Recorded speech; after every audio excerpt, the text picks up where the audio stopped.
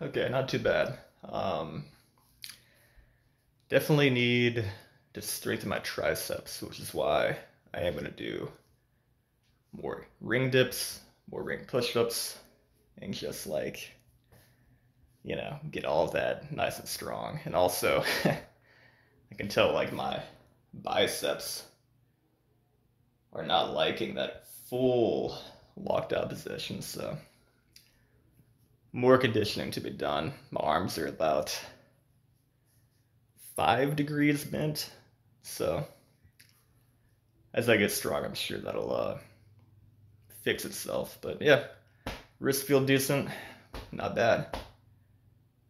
Five down. Who knows how many to go till I get full planche? Maybe a hundred. I don't know. We'll see. Peace.